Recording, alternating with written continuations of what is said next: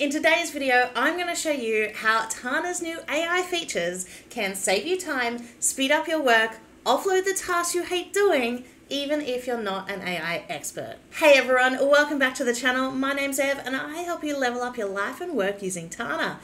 Well, yesterday was an exciting day in the Tana community as they launched AI for Builders. Now, if you're excited about AI, but you feel a little bit overwhelmed to set this whole thing up, then I'm here for you. So in today's video, I want to show you how you can get set up super easy. It's so easy to set up.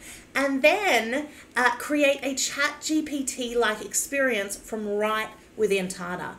So if you're the kind of person who switches over to ChatGPT numbers of times a day, asks ChatGPT something, copies it back into Tana, you can set that up in Tana so that you don't have to keep switching. It's incredible. You can ask the AI to do anything and it spits it right back in your Tana workspace. Now, officially, there are a lot more complex uh, crazy things that you can do with AI, and I'm going to leave that to the real AI experts. What I want to do in this video is just show you how regular, everyday people can get it set up really quickly and start using it to do their work. So I'm going to show you three things in today's video. First, I'm going to show you how to get it set up in your Tana workspace.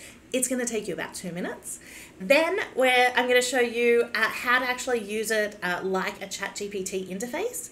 And then thirdly, I'm going to show you how you can actually level up your tables in Tana using the AI features. So let's dive in. Okay, so first things first, you're going to need to set up your own OpenAI API key. Now, this isn't complicated um, and it's called AI for Builders for a reason because you are responsible for setting it up yourself and having it within your Tana workspace. But I promise it's really not hard. Now, you can sign up for a free OpenAI account and that's probably the best place to get started. There are going to be some limits on that. Um, you might find some lag time, that kind of thing. If you're running into limits, you can always enter your credit card and start to pay for the usage that you use. So it works on a pay as you go uh, system. So as you poll the AI, it will count your usage and you'll pay for that. So when you first set up a paid account, you get a $120 spending limit. Um, but if you don't want to spend that much, then you can always, you know, bring that down.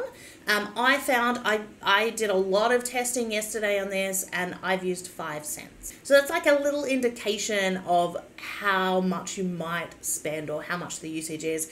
If you're using ChatGPT Pro and paying for that every month, uh, you may even be able to just cancel that subscription and use your OpenAI account in Tana. Okay, now we've established that, let's do the setup. Okay, so the first thing you're going to want to do is turn the AI features on. So um, all you do is come up to the cogwheel, go to your Tana Labs, and just switch on AI for Builders. What that'll do is restart your workspace and you will have the new AI features. The second thing is you want to go to OpenAI and just sign up for your account. So once you've set up your account, all you want to do is come up here to where it says personal, and go view API keys. Now, API keys are just like a long string of stuff um, that you can um, place in your Tana graph and then it works. Okay, it's really quite simple. It's not complex. Um, so um, you can see I've got a few uh, here from from different testings, but you'll most likely just have a secret key here. Um, but what you want to do is come down here and press create new key. Now, every time you create a new key, it will only show you that key one time. So you have to make sure that you copy it and get it into Tana straight away so that you don't lose it. So we're going to call this our Tana test API and we're going to press create. So you'll see this come up here, just copy it. And so then come back into Tana, um, just anywhere in your graph, just Command K to open your command uh, file and just find your um, set open API key. And then all you have to do is paste it in here uh, where it says OpenAI. You can see I've already got mine in there. And that's it. Now you are ready to use the AI features. I told you it was super simple. Now it's time to take our new AI for a spin. And actually it's really easy. Any On any node that you're in, all you have to do is type AI um, and then you can start to ask AI whatever you want to ask it. So I can say, uh, let's say, like, what are you? Okay. Um, and then all you have to do is press the button Ask AI.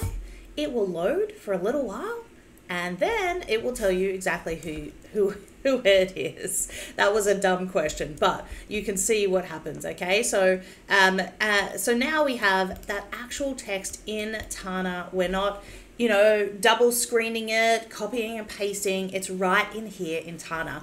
What this means is if you're working in Tana, writing content, writing emails, writing copy, you know, like gathering things together, just getting your work done, you don't have to switch between ChatGPT and Tana. You can actually just ask it to do things. So some of the things that I end up asking ChatGPT or AI now all the time is like, so let's say I'm writing and I want a different word for something. And so I might be writing a whole essay and then I might have something like this.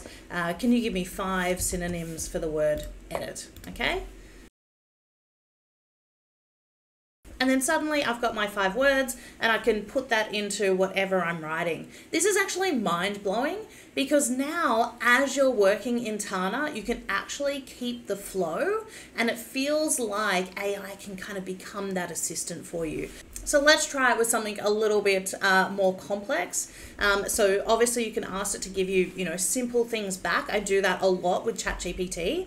But what if you need to draft an email? Okay, so let's say that uh, we need to draft an email to our boss explaining that we're leaving and we're going to go into monk mode for six months and work on ourselves and that I'll be back as a superhuman person effective immediately. Okay, this is a big meme on, uh, on Twitter at the moment, and I thought it'd be kind of fun to write an email like this. So we're just going to get ChatGPT to do that.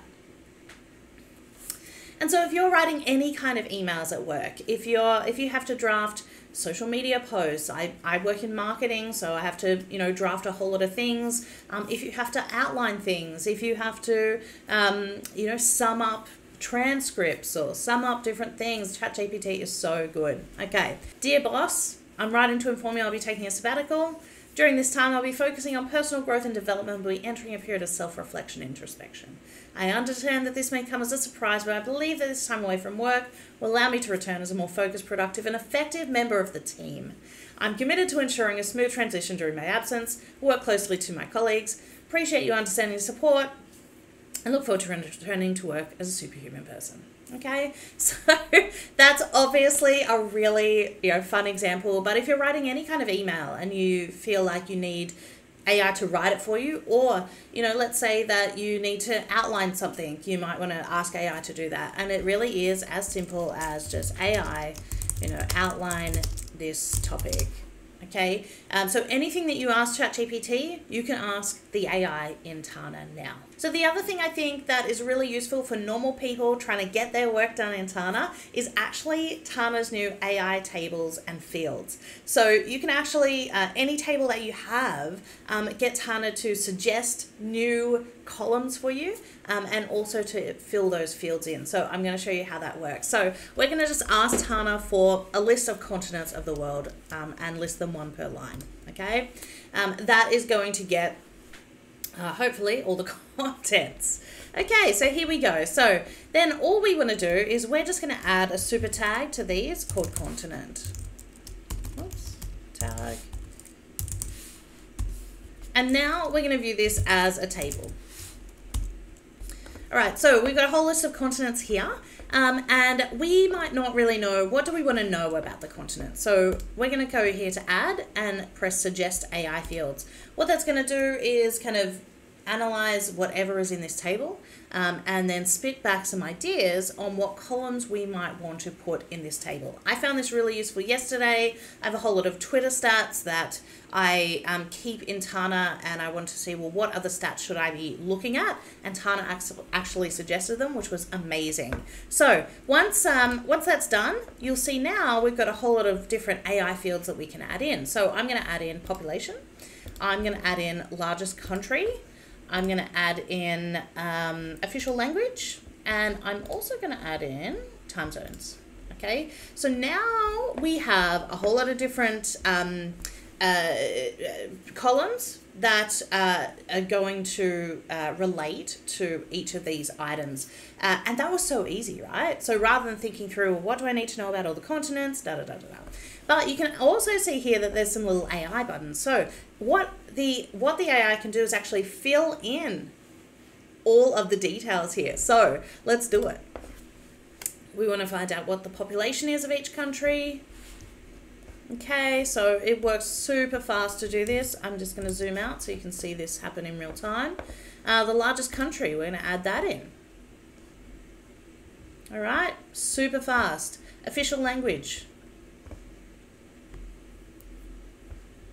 Time zones. Let's get that going too. Now, that took less than 30 seconds, and we have all the continents knowing all their population, largest country, official language, time zones. If you had to research that, um, that would take you, I reckon, 30 minutes to an hour just to get all of this into a table. That took less than a minute to do that.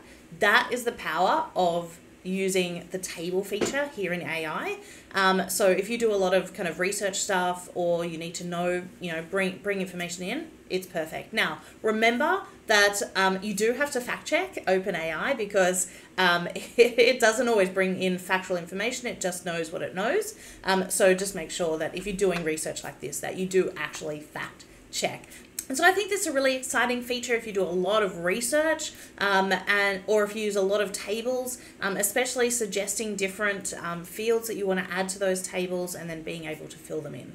So that's it. I told you it was super easy, and I hope that I have convinced you that Tana AI for Builders is not just for the builders and the complex kind of thinkers in the community, but that as a normal, everyday person, you can actually use the AI to get your work done. And you might even be able to cancel that ChatGPT Pro membership so if you like this video, make sure that you give it a thumbs up and you subscribe to the channel because I make videos like this all the time. And if you have any questions or comments or you're using Tana for AI in a really cool way, put a comment below. I would love to hear about it. And if you do want to get started using Tana really fast, I would suggest you check out my course, the Tana Fast Track. It gives you everything you need and nothing you don't. So if you don't want to spend hours tweaking and going down YouTube rabbit holes, then uh, make sure to check it out. Um, and I will leave a link for it below. And until the next video, enjoy using your new AI features.